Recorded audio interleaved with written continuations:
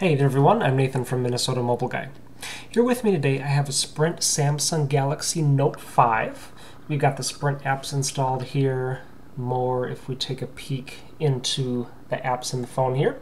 But then if we go and look into the settings, along with being able to see that we do indeed have here a Note 5, which is the N920P, the Sprint version of the Note 5.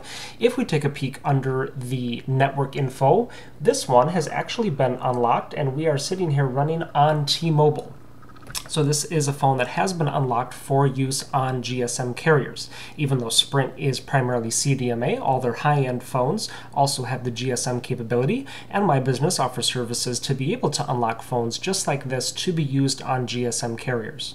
So in the US, that would be AT&T and T-Mobile, and then obviously that applies to all of the prepaid carriers that also run on their networks.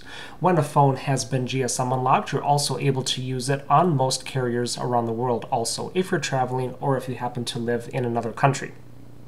So this one here has been fully unlocked. As you can see up top, we have data and everything enabled, and so this one is all set to go now on a T-Mobile line.